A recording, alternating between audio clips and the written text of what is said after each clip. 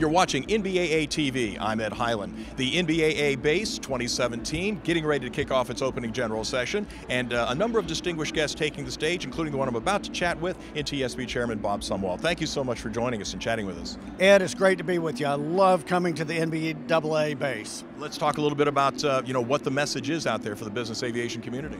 Well, our message, of course, we're in the safety business at the NTSB, and I think that business aviation has a has a great safety record. We want to make sure that, that we keep it that way. Let's talk about some of the programs that are in the works right now for operators.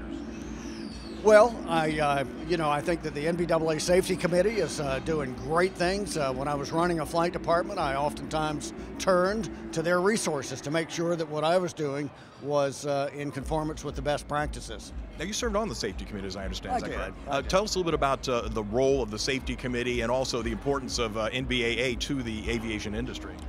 Well, again, uh, I think that they they provide great resources for business aviation departments to be able to rely on to to uh, to benchmark to make sure that what they're doing is uh, in, in accordance with the best practices.